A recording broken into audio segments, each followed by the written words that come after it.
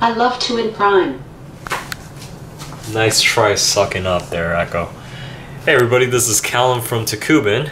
Um, in this video, we are going to take a look at three Kanken backpacks that we've looked at individually before in the past. Uh, in those videos, we packed in them. This video, we are not packing in any uh, any of these at the moment, or they're empty, I should say. Uh, we want to try to accomplish a few things in this video. We want to explain the difference between the fabric types between the three Kankens that we have here and just look at the details as well as take this opportunity to answer a few uh, popular questions that we've gotten uh, since we've posted our other Kanken videos. So let's start with the introduction. Um, here we have the Kanken Mini representing the Kanken Classic and the Kanken Laptop Series, uh, Kanken Big, Kanken Large, Kanken Kids, uh, because it has the same fabric as those backpacks. So uh, representing all those backpacks in this video is the Kanken Mini that we have here in the leaf green color.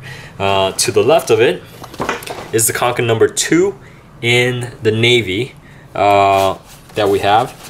And on the right here, for you it should be the left actually, um, we have the Re-Kanken backpack.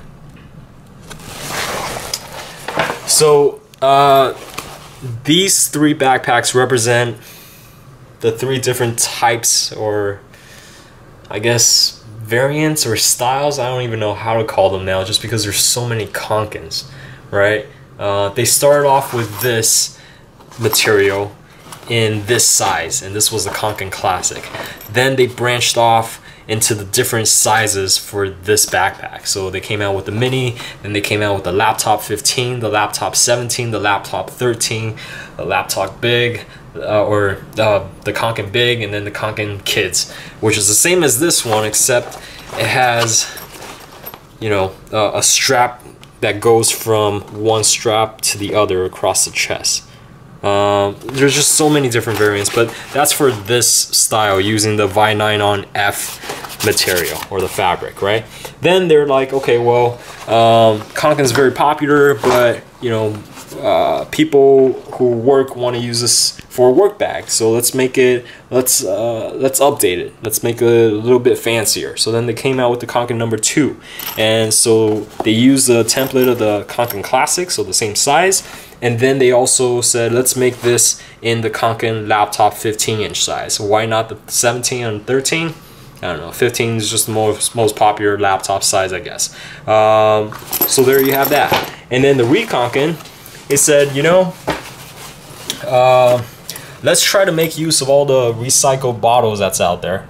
Uh, and let's try to make a backpack out of those bottles that people recycle which is great, which is cool. Uh, but they came out with this in only this size and in the Kanken Mini, I want to say. Have to check on that. Um, but, you know, uh, then this came out. So if you want a Kanken backpack, you you have you have to be more specific about uh, the size you want and the fabric uh, that you want. So hopefully this video will give you an idea, a better idea of the difference specifically in the fabric, right? So because we've uh, kind of found out from our other videos that the Kanken in general hasn't changed much as it crosses over size and colors and fabric. Uh, it generally remains the same. These three kind of look alike, right? You have the same type of, uh, with the handles here, front and back, uh, the same X mount for the straps.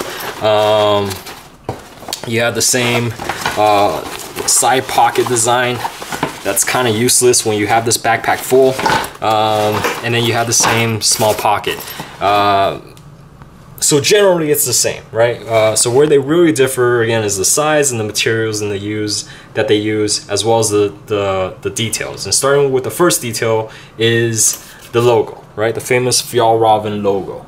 Um, on all the standard Vinylon F uh, backpacks, you have the white logo with the red uh, lettering. Um, on the Kanken number two, you have this more sophisticated leather uh, type of uh, logo um, which is fancier, right?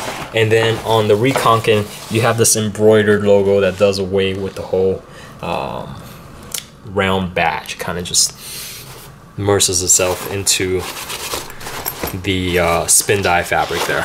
Um, but the fabric is really what we're here to talk about. So let's start with the original uh, Vinylon F, right? Uh, so this is a synthetic material that's meant to be water resistant and wear well. Uh, we liked it. We thought it was very stiff at first when we got it. We've used this now for a while. You can kind of tell it's still holding its shape up well. Um, and it still looks fine, right? It, it doesn't, it, when it picks up scuffs, it's easy to wipe down. Um, kind of have you listen to the fabric, if that makes sense, but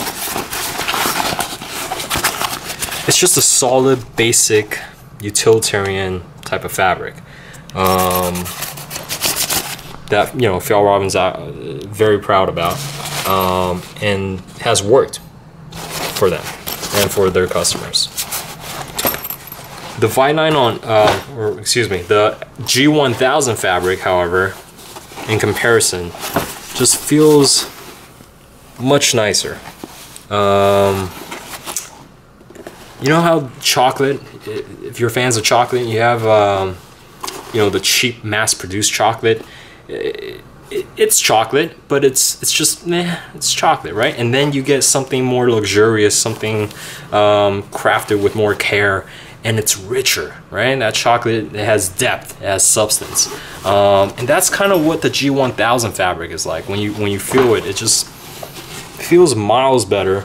Um, because they use the Greenland wax to to kind of uh, make it more uh, weather resistant it kind of feels like um, after you put on lotion, there's a, there's um I don't want to say stickiness to it, but there's just something about it that just makes this fabric feel very nice. Um, you, you, you have to kind of just feel this for yourself. I know it doesn't sound too different, I guess.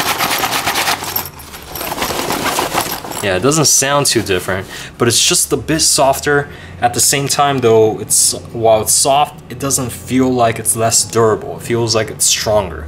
Um, really tough to describe, but we're, we're big fans of the G1000 fabric, which Fjallraven also uses on some of their clothing, uh, which is cool. Some of their jackets, some of their pants. Um, so that's pretty neat. And then we have the Re-Kanken. And this is kind of it, it doesn't really compare with the Vinylon F or the G1000. It's it's just an alternate, right? Um, so these two are siblings. This is just a cousin, uh, maybe a distant cousin. That you know, again, looks the same, but if we zoom in here on the fabric, you can kind of tell there's there's little. It kind of I don't want to say pills, but there's just something natural about this fabric. Um, and we applaud them for using Spindye, right? Uh, it's definitely environmentally friendly. The colors are fused right into the yarn. It's it's better for color fastness though we haven't experienced any loss of color on these two. Um, but looking at it, you can tell the color the color is just built in, right? It's just naturally in there. It feels soft like we said in the in the visual video, it's it's more it sits more casual. Um, the structure that you're seeing here is thanks to the seat foam or the seat cushion uh, that they have in every Kanken backpack. Uh, but generally speaking, this is just an, al an alternative to the standard Kankens. And we were asked recently which one we prefer. Um, the Kanken Classic, which again the Mini represents because they use the same fabric, or the Re-Kanken, and it was a hard decision. Um, but ultimately, we decided uh, on liking or preferring the Vinylon F of the Kanken Classic um, ahead of the the Spindye here.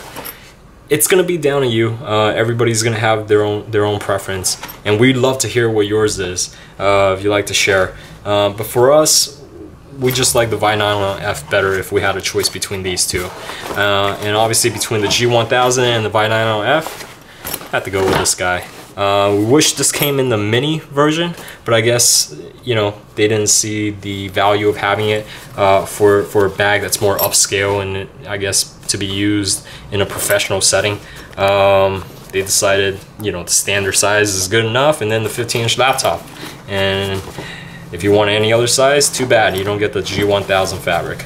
Um, but again, hopefully this kind of gives you a better idea of, of the different fabric types, where they stand, um, to help you decide what works. Now, uh, moving over to the answers, one or the questions and answering uh, portion of the video. One of the most popular questions we get, I guess people like the idea of having the mini uh, be used as a day pack, but they want to know if if they needed to, can they fit certain things in? So um, I wanted to show you what a what an iPad, a standard 9.7 inch light iPad looks like in a mini, right? Um, so from the outside, yeah, looks like it fits, and it sure does, with room to spare. So if you have one of the bigger iPads that's out there, um, you'll see here, um, this is placed where the corner is right in there. Um, and you still have maybe like an inch on the side and inch, inch and a half on the top there. So if you're looking to carry around a tablet with the mini, not a problem. Uh, netbooks, yes, that'll work.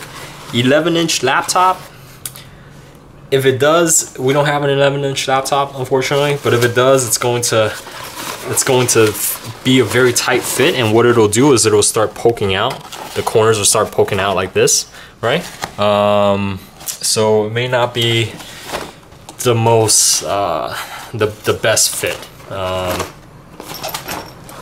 for the laptop right? You might want to consider getting a, a, bigger laptop or a, bigger Kanken in that case. Um, then we were asked well can you fit a binder in here? So we have a standard one inch uh, 10 by 11 and a half binder. Doesn't look like it'll fit from the outside.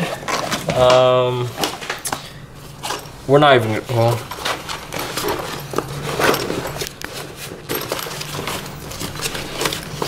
Yeah sorry guys. That's not gonna fit.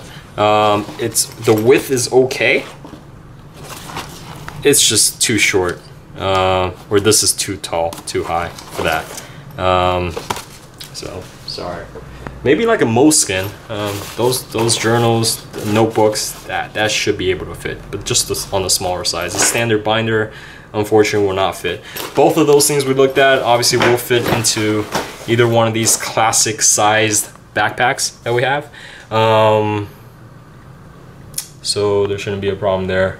Uh, if you have any questions, please feel free to ask. Um, ask us in the comments section below this video or ask us on Twitter.